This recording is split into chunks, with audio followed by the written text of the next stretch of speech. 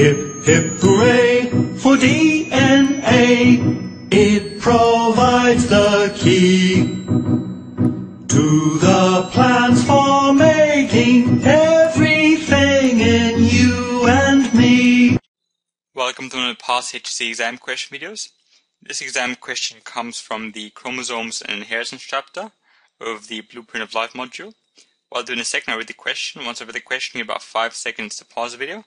Once I've paused the video, once you have paused the video, yeah, attempt the question, then press play when you're done. The question itself is as part of an independent research project, a student studied a genetic condition suffered by members of his family. The student wrote the following summary. I am male and I have the condition. My mother does not have the condition.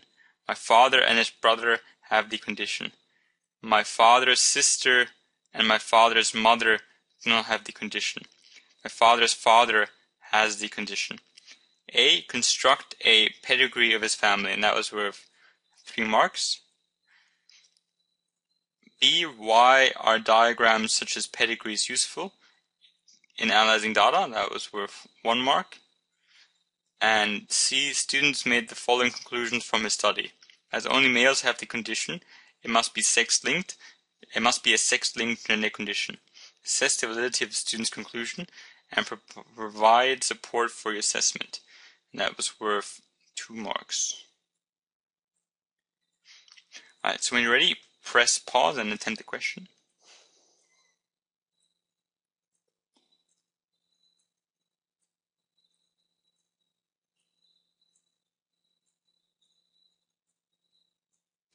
Welcome back. Alright, so first thing we should do is because we have to construct a pedigree tree, we should actually have the different legends. So we say this is an unaffected female. So unaffected female. So circle which is not colored in is an unaffected female. A circle which is colored in is a affected female. So this is has has the condition. This is an affected female. If we have a square which is not colored in. That means a unaffected male. And if we have a square which is colored in, that means we have a affected male. That's what you should do always in the beginning. You should have that. Then we need to actually look at data and see what we can figure out. When we construct a pedigree tree, we should always start at the most distant relationship to the person. So the person itself is that student. So I am a male and I have the condition. This should be the last one in the pedigree tree. We're looking at the furthest away. So we've got he he has a father, and the father is also has a father's father. So this guy, my father's father, has the condition. This is the grandpa the grandfather, grandfather, and we also have the mother given. My mother doesn't have the condition my father and his brother have to come to my father's sister and my father's mother. So you've got the father's mother, which is the student's grandmother, and she does not have the condition, but the father has the condition. That's what we'll do first. That's the first pedigree of that we'll do. So she, this is the grandmom drawing, and she was married to the grandpa, and the grandpa had the condition. So I'm just going to say, right, grand Ma and grandpa. Now they had babies and they had obviously father, so the father has the condition. It says my father and his brother have the condition, so both the male offspring of that couple had the condition, but my father's sister does not have the condition. So this is next. This is the related. So we have the sister one of the brothers who has the condition and the father who has the condition. So this would be father sister, father sister. This would be father's brother. And this would be the father. Now the father has a child with the mother and the mother does the mother of the student does not have the condition. So we do a marriage line because they are a couple and we keep that circle like that because they're she's not affected. And this is the mother. and they have a child, and child is the student, and student is affected. It says I am male and I have the condition. So this is the student. So for doing this, you will get all of your marks, three marks out of three, and the points would be just arranged that if you've done the correct and affected and unaffected, you've gotten the inheritance line and the marriage line correct, and all that kind of stuff would get your marks. That was the first part. Second part, why are diagrams such as pedigrees useful in, in analyzing data? So why do we use these diagrams as opposed to only looking at this information? So just imagine if you're only looking at this information, why is that not as good as having this pedigree tree? Well, the pedigree tree is a, it's a visual medium, so visual, so we can just look at it, and it just simplifies all the data as well. So it simplifies it.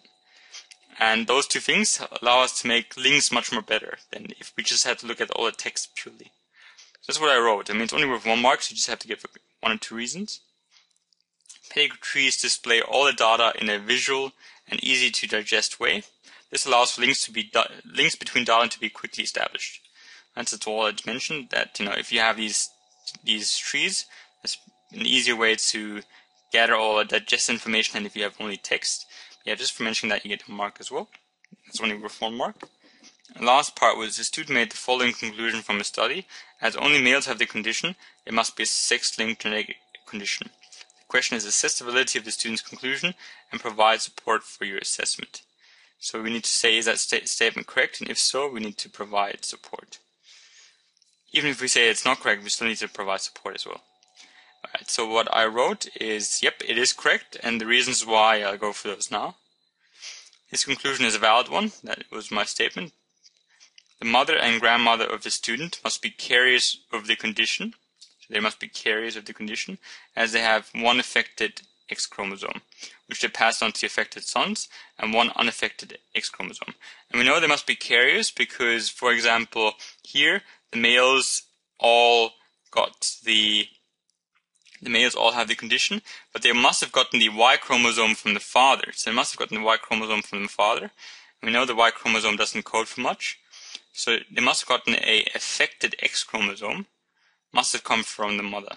If you, this is XY, this is XX, and yeah, you should, they only get half, so they get the Y from the father if it's a boy, and they'll get either one of those X's from the mother.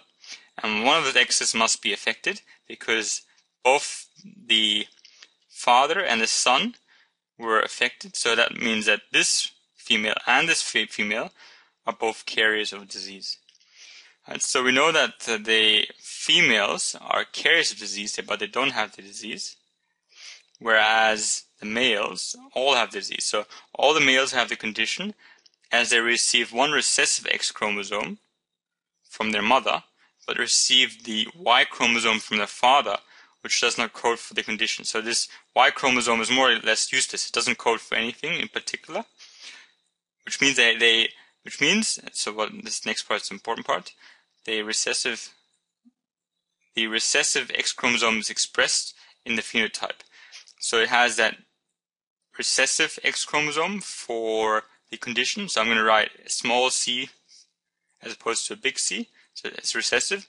And because they're male, they have one, so one X and one Y. And because they only have one X and this one X is recessive, that means they have the condition. Whereas the females can have one capital and one small. So they have one dominant, one recessive. So they're carriers, but they don't have the disease. But that's all proof that this actual problem is carried on your X, your sex chromosomes. Because only sex chromosomes have that added factor with the Y chromosome not coding for anything. All the other ones don't have that. So I get you two marks just stating those observations that the females all had it, and that's because they all got the recessive X chromosomes from the mother, and the females were all carriers, but they did not have the condition because they received one X chromosome from the father and one X chromosome from the mother, and they received the healthy one from the father, which the boys didn't get. Where does the question come from? It came from these two dot points. So students will solve problems involving codominance and sex linkage. We just had a sex linkage problem. but we also were asked to perform an investigation to construct pedigree or family trees. So A was pedigree and family trees, and the rest was from the sex linkage problems. I hope that was useful. Thank you for watching.